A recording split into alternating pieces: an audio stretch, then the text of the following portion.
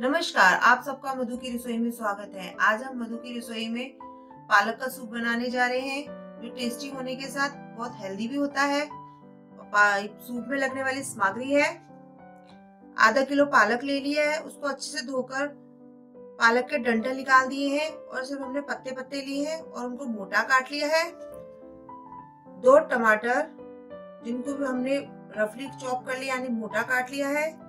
आधा गिलास दूध ठंडा दो बड़े प्याज, उनको भी हमने मोटा मोटा काट लिया है, चार हरी मिर्च, आठ कलिया लहसुन की, एक बड़ा टुकड़ा अदरक का, जिसको हमने, उसको भी हमने मोटा मोटा काट लिया है, एक बड़ा चम्मच मक्खन, सफ़ेद नमक स्वाद अनुसार, काला नमक स्वाद अनुसार। जितना हमने सफ़ेद नमक लेना है, उतना ही समान मात्रा में हमने काला नमक भी लेना है। एक बड़ा चम्मच कॉर्नफ्लावर आधा चम्मच काली मिर्च। अब सबसे पहले हमने हल्का सब्जियों को भूनेंगे कुकर में तो उसके लिए गैस ऑन करेंगे। गैस ऑन करके कुकर रख दिया है। कुकर में हमने मक्खन डाल देंगे। मक्खन को पिघलने देंगे। आज तेज रखनी है। मक्खन पिघल चुका, गरम हो गया है। उसमें हमने साबुत कलिया लहसुन भी डाल देनी है। अदरक।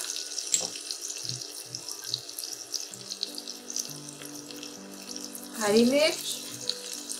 प्याज।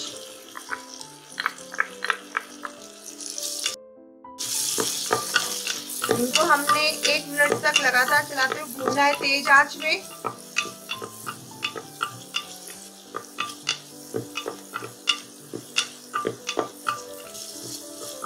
लगातार चलाते हुए हमें एक मिनट हो गया है। अब इसमें हमने टमाटर डाल देंगे। टमाटर को भी हमने एक मिनट भूनना है तेज आँच में टमाटर को भी लगातार चलाते हुए तेज आँच में एक मिनट हो गया है। अब हमने पालक डालेंगे।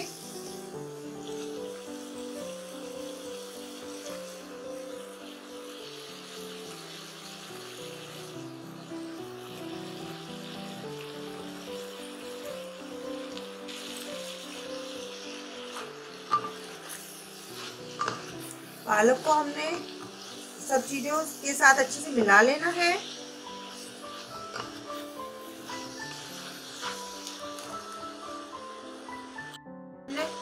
सफ़ेद नमक डाल देंगे।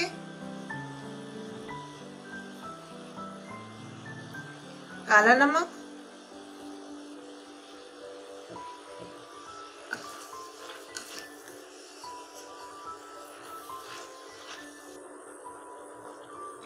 पालक को भी एक मिनट भूनने के बाद हमने दो कटोरी उसमें पानी डाल देना है।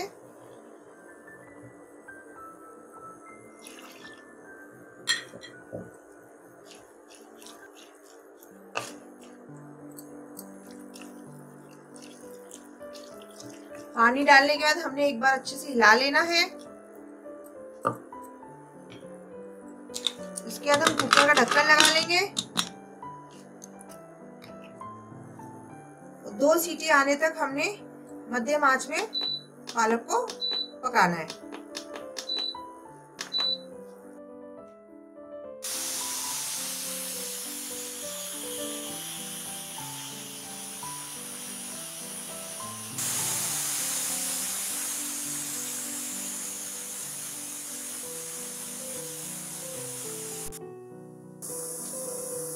दो सीटियाँ आ चुकी हैं, गैस बंद कर देंगे। और दो मिनट के बाद हमने कुकर का ढक्कन खोलना है, उसके बाद हमने पालक को छान लेंगे। दो मिनट हो गए हैं स्टीम भी निकल गई है। हमने कुकर का ढक्कन खोलना है और पालक को हमने छान लेंगे।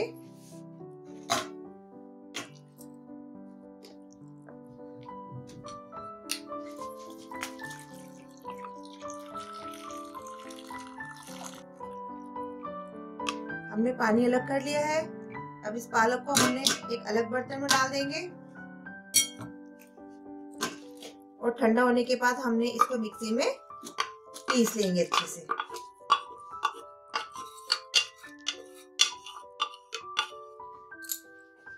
मिक्सी में हमने पालक को अच्छे से पीस लिया है। अब इसको पानी के साथ हम पकाएँगे। गैस ऑन करके कढ़ाई रख दी है। अब उसमें हमने पालक डाल देंगे, पीसा हुआ।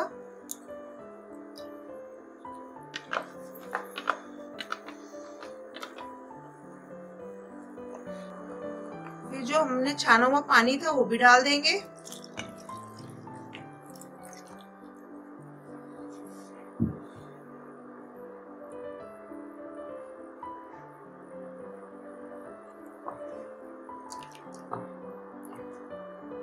और इसमें एक उबाला आने देंगे। जब तक इसमें सूप में उबाल आता है, तब तक हम कॉर्नफ्लावर और दूध को अच्छे से मिला लेंगे।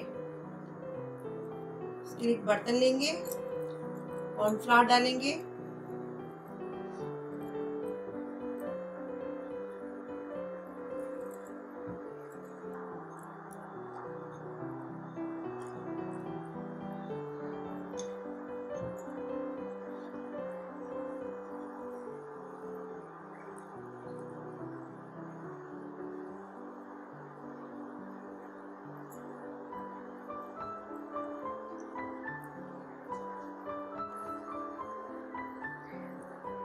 सूप में उबाल आ चुका है।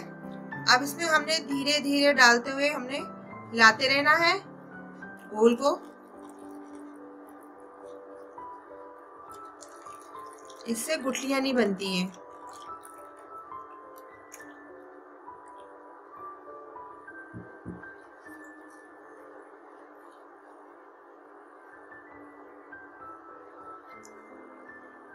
इसको हमने तेज आँच में दो मिनट तक पकाना है।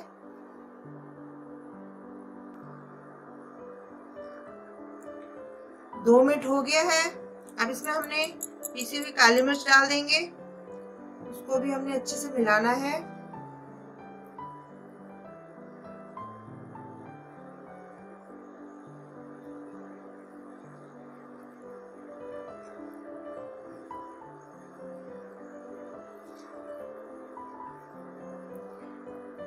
काली मिर्च भी सूप में अच्छे से मिल चुकी है। अब हमने गैस बंद कर देना है।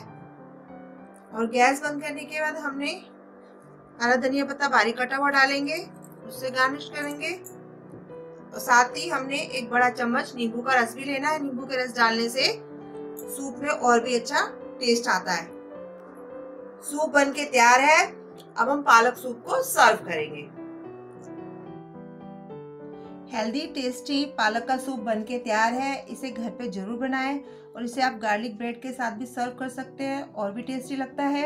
और यदि मेरा वीडियो पसंद आया हो तो इसे लाइक शेयर और चैनल को सब्सक्राइब करना ना भूलें। साथ ही नोटिफिकेशन बेल को भी दबाना ना भूलें, ताकि जो भी मेरी लेटेस्ट वीडियो है, अब तक पहले पहुँच सके। धन्यवाद।